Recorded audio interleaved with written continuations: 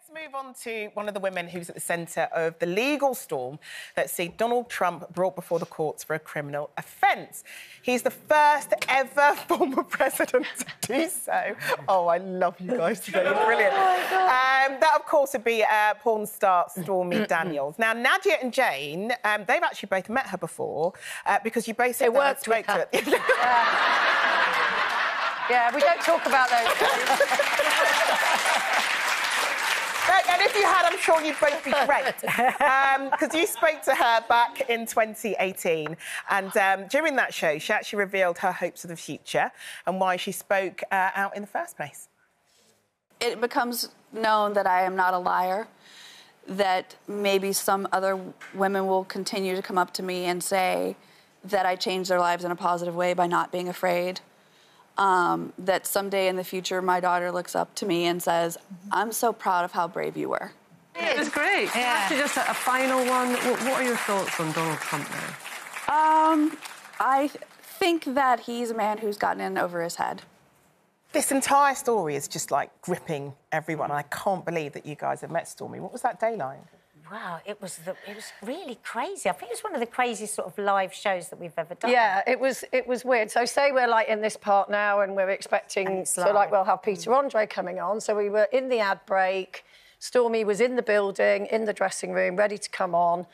And then literally as we came out of the ad break, somebody in the gallery just said in my ear, Jane, get off set now.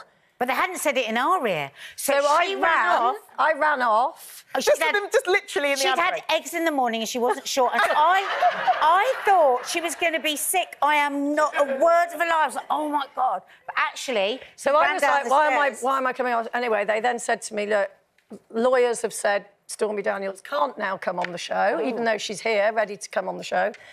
Um, but we'll get round it. You go and interview her in her dressing room, and then you can come back onto the show in the next part and say what she said. So we kind of got round it that way. Although, because I had to run up two flights of stairs and I'm not very fit, I spent the whole part going, she said. But it, but, but it was so exciting because she had like a notebook. It was like proper like journalist, runs downstairs, comes back up, gets the story. And we'd already met Stormy before What's then. she like? And we really liked her. We well, what happened really after that? So I did the thing, did the interview in the dressing room and oh, she, I remember, I remember it as if it was yesterday. She went, well, you know, because it was it was lawyers that were saying she couldn't come on the show, not her. she wanted. She was like, I'm not frightened of Donald Trump, so I'm certainly not frightened of lawyers. Wow. and but anyway, but what we did was we pre-recorded it directly after, didn't we? Yeah, and then yeah. we used it at a later date once we'd sorted out so the legal issues. Great. We spent quite a lot of time with her, like off camera as well, didn't we? Telling she was telling us good stuff. Anything and, that you can divulge? No, I mean I would never because I, I, I, actually really liked and respected her, and I felt like I would want her to be a friend of mine. That's how much I liked really? her. She was a truly, she was a very authentic person. She had, she's had a really tough life right from a childhood. There is not one shred of victim about her in anything. She's very powerful about how she's made her own choices all through her life. And I see her as a really a thriving survivor. But when I think back to the interview and when she was talking about how, you know, part of why she wanted to speak out was she wanted to be in plain sight because she felt safer. Mm. And she told us some stories, really frightening stories of how uh, Trump supporters had come up to her. There's one incident where they come up to her and she was with her small child.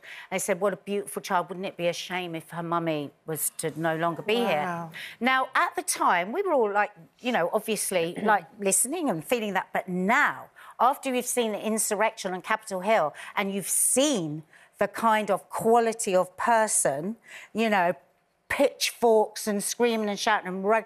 You think, my God, she, that's what she's been facing all these years. Do you think they're not... Yeah, play, excuse me. Playing, playing devil's advocate, because I can't stand Donald Trump and everything that he stands for.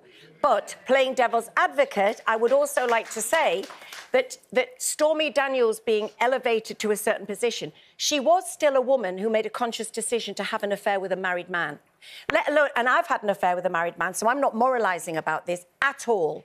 I'm just saying that she still made a conscious decision to have an, an affair. But what- what- how Which- does that if that fit was into the narrative? No, because if that was if that we, we've talked about... You don't about deserve getting death threats. No, of you've had an course you don't. But if it was anybody else on I this think it was show only a where we way. have had no, apparently it was an affair.